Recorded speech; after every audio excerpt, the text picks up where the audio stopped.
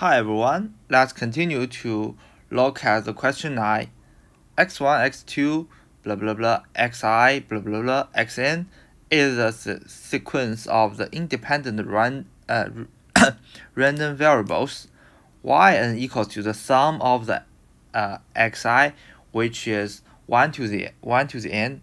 Prove or disprove that yn is a Markov chain.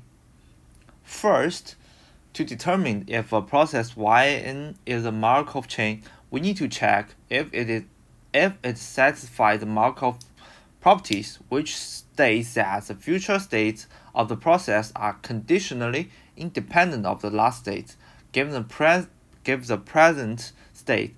In other words, for a process to be a Markov chain, it must satisfy the following condition: P y n plus 1 equals to smaller y n plus 1 yn yn smaller y.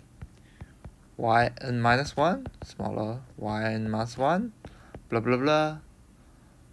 Y1 equals to smaller y1 right? This is equals to p y y yn yn right? Let's consider the process yn yn is sum of i n xi right? Y n plus 1 sum of i to n minus n, n plus 1 xi right so we got that it is equal to 1 plus xn plus 1. Oh, sorry. Since xn minus n plus 1 is independent of x1, x2, blah blah blah, xn, we so we have the conditional properties p y plus 1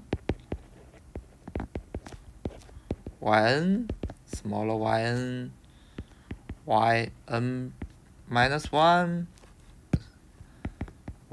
yn minus 1 blah blah blah y1 y1 alright since it is independent, so we can have the conclusion, we can have the uh, these formulas are actually equal. So P plus 1, Y plus 1, Yn, Yn, right? We can see that it is a property of the Markov chain. So through this, we have the conclusions that the process Yn satisfies the Markov